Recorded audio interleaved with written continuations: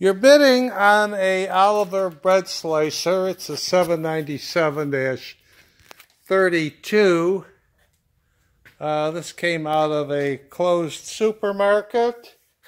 Uh, it comes with a new uh, guard kit and a new switch assembly. And there's some gas charge struts to hold this bread cage open. That's the kit. Uh, operates nicely. Uh, everything appears to work.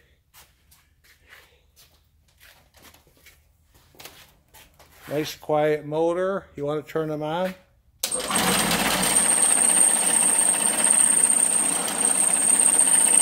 This is what it is. Good luck bidding.